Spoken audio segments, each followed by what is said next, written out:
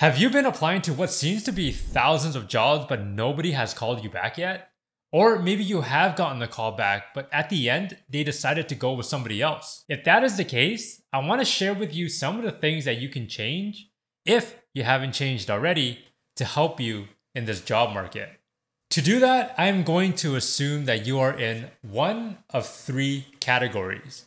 Category number one you are someone fresh out of school and is wanting to get into this field with zero experience. All you have is a degree, whether that is a relevant degree or not, and maybe one to two years of non related work experience.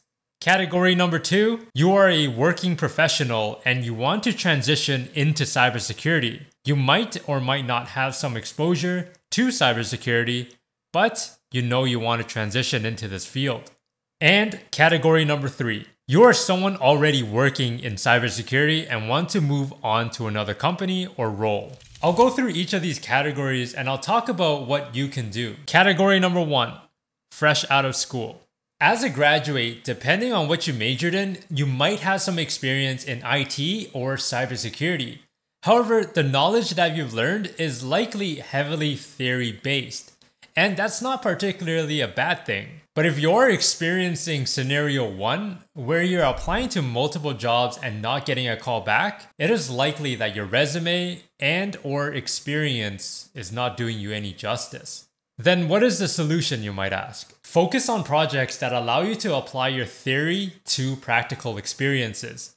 I've created many videos on this topic and essentially Look around you and see how you can apply security to everyday life. If you wanted to learn a specific tool or understand how to triage, I highly recommend you take a look into some of the labs that are hosted on platforms such as Cyber Defenders. Continue to practice applying your theory onto practical learning opportunities, as this will allow you to showcase your skills and projects that you've completed onto your resume to make it look more enticing.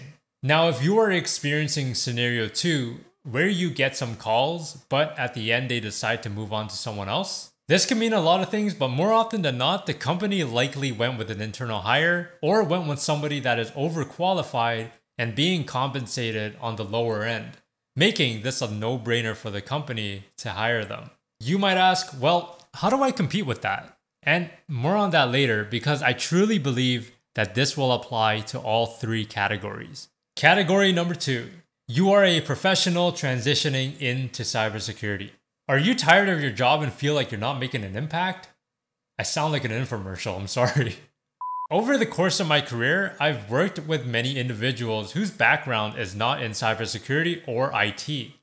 In fact, they came from an accounting background or even an English major background. That goes to show you that you do not need a related degree in cybersecurity to be in this field. So if you're thinking, oh my God, I need to get a relevant degree, no, you don't. But it will make your life a lot easier. If you're applying to many jobs and you're not getting a call back, similarly to the previous one, it is likely that your resume or your work experience is not being optimized, for the lack of a better word, to the role that you're applying to. I'll give you an example. I've seen resumes where someone had been working in retail and want to transition into cybersecurity, but the resume shows no interest in cybersecurity or skills related to cybersecurity. But you might ask, well, of course they don't because they've been working in retail. But hear me out. In cybersecurity, especially if you want to work in a SOC, it is a fast paced and high pressure environment where you will need to be comfortable with multitasking. You need to have attention to detail as well as the ability to break down technical problems and translate that to non technical audiences. In other words, you need communication skills. Now, if we take a step back and think, are these skills something a retail person would have or obtain over time? I think it does. Solution If you are working in an industry that is not related to cybersecurity or IT, I really want you to think about your responsibilities and pick out the soft skills that you've learned and obtained over time because those are extremely valuable and you want to put them onto your resume. As for showing interest in cybersecurity, you can do one of many things. The first one, you can enroll in a course from Coursera, and I recommend Google's cybersecurity program, which I'll link down below. Secondly, you can look into Security Plus, or you can take Google's course and then take Security Plus. Or you can start doing labs or projects related to cybersecurity. That way, you can put it onto your resume and start talking about it. But to get a higher chance of being seen by recruiters or HR, I highly recommend that you go and achieve your Security Plus.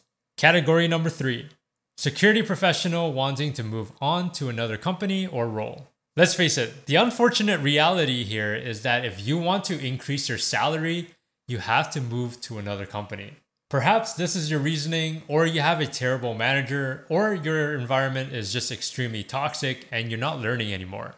Believe me, I've been through all three. Regardless of the reasoning, moving to another company can be exciting and terrifying at the same time.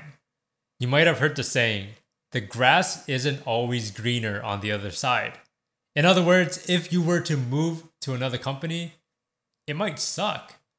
But you get a title change and a pay bump, hopefully. After applying to multiple jobs and you don't get a call back, what do you do? The solution because you are already in cybersecurity and obtaining work experience, it is likely that your resume needs to be optimized to the role that you want. For example, if you are a SOC analyst and you want to move into DFIR, you have to put some experiences that are related to DFIR. Have you ever done network slash host based forensics or performed root cause analysis? What about deep dive investigations into security incidents? Experiences like those are great to put onto your resume. Just like the others, think about upskilling and perform projects that are related to the role that you want to get to, as this will allow you to stand out. Now, I want to talk about scenario two again, where you get a call back, but at the end, they go with somebody else. One of the main reasons I see this happening is because of compensation. Companies have a budget and salary in mind, and whenever a candidate asks for a salary that is higher than planned, they tend to look elsewhere or hire internally. Now, if you fall under category number one and two, I encourage you to research what your average salary for that role is and aim for the lower end. Now, I know this might not always be possible, especially if you're in category number two, because if you have a family and you need to take care of them, family comes first. Let's just say you're making 80K in your current role. And if you take a pay cut for, let's just say, 40K, that will do you more harm than good.